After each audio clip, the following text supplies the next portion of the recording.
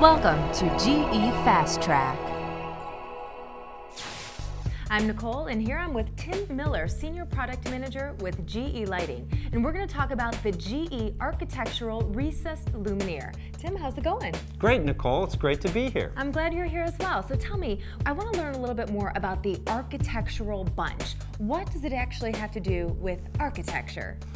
Well, Nicole, here's the story of a lovely luminaire with three very lovely features of its own that make it unique in this LED category. That sounds familiar. It kind of makes me want to sing along.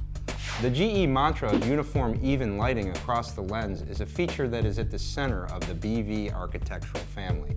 Our engineers specifically designed the LED circuitry to maximize efficiency and uniformity so that there is no LED that looks all alone. Timmy, Timmy, Timmy.